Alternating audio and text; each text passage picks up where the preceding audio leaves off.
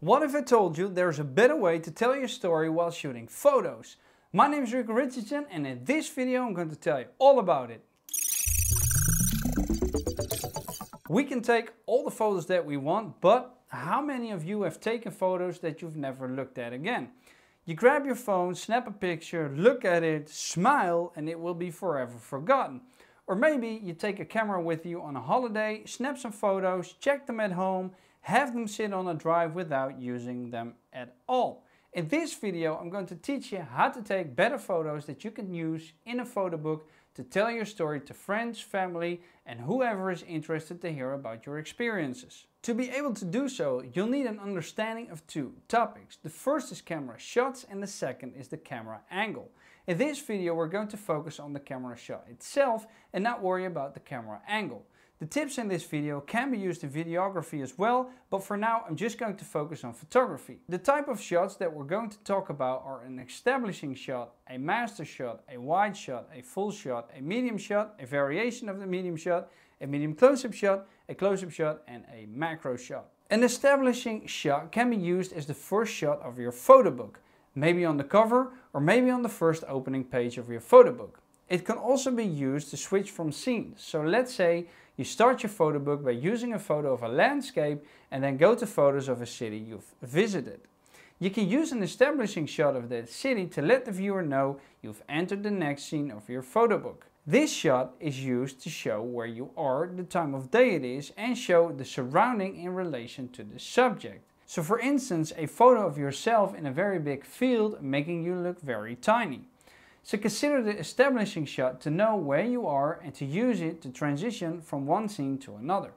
Make sure that the first shot of your new scene is an establishing shot as well. An introductory shot to your audience so that they understand and can follow along where everything is taking place. What comes next is the master shot.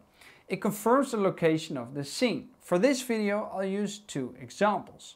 The first one is with people in it and the second one is without people in it. Let's say you've started with an establishing shot of a landscape with a small cabinet.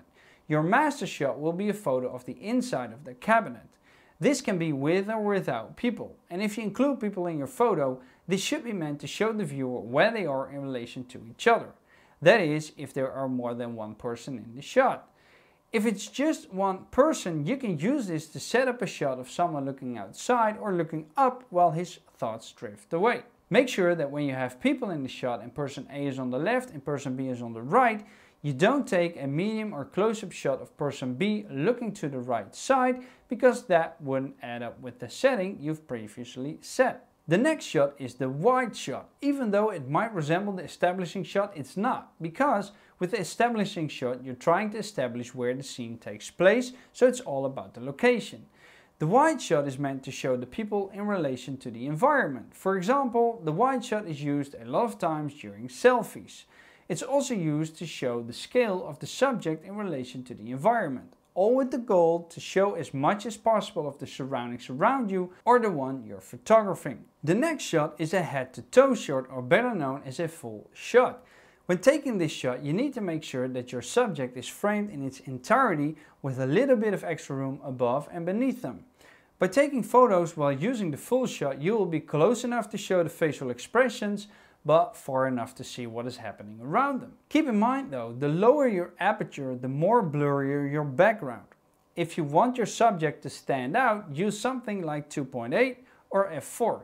And if you want more parts of your photo to be in focus, then use something like 5.6 or f8. The next few shots are varieties of medium shots. The first one is called a cowboy shot because it is a shot from the top of the head to the height of the gun holster of a cowboy.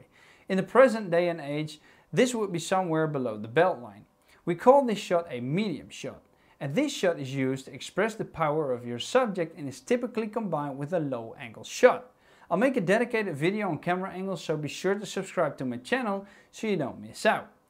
Besides a medium cowboy shot, there's also a regular medium shot. This is commonly used because its size represents the same way how we interact with people around us. It's a neutral shot that typically starts above the waist but beneath the chest and has a little working space around it. This can be achieved from shooting mid-chest to above the head. If you take medium close-up photos, You are telling the viewer to focus on the subject and not get distracted by its surroundings. It's a great way to capture emotion and reaction without making it too intense. Because for that, we have the close-up shot. And the close-up shot is designed to give you an emergent feeling in a person, his or her emotions. You usually shoot a photo like this on eye level so that you capture all the facial expressions. This is different from a macro shot.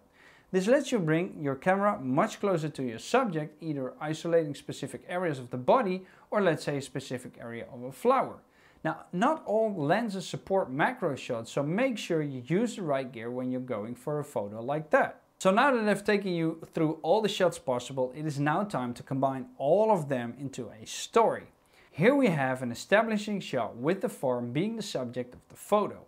A logical next step will be to show a photo of the inside of a form, for instance the kitchen table. This will be the master shot.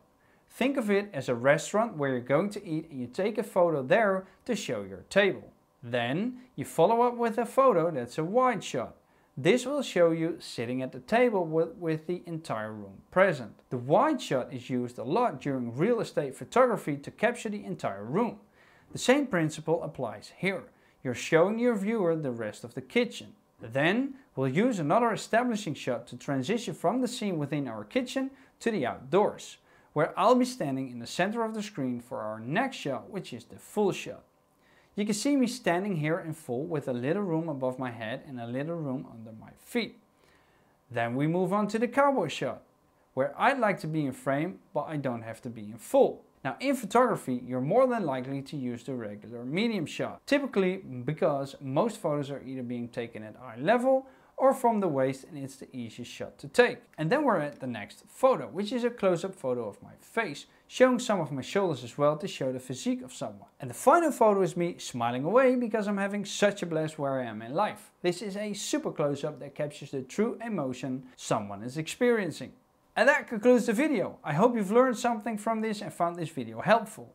Use these shots to help you tell a better story in a photo book. For now, my name is Rico Richardson Thank you for watching and I'll see you next time. Doei!